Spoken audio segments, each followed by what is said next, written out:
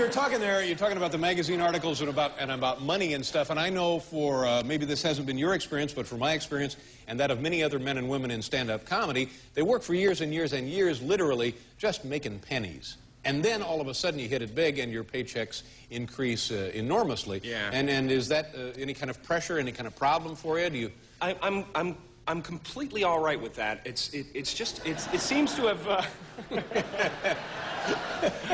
seem to have relaxed into it nicely.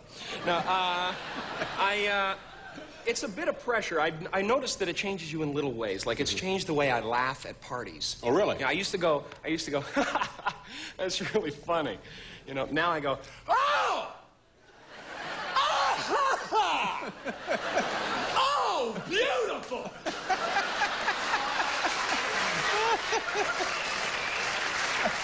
Have you guys heard this one? oh! The, you laugh that way because you know you're wealthy. Is that... I'm Very wealthy, and that, that's That's odd. I that's how wealthy people laugh. I wouldn't have guessed... Oh! Punks like you are a dime a dozen. I blow my nose I off. blow my nose punks like you.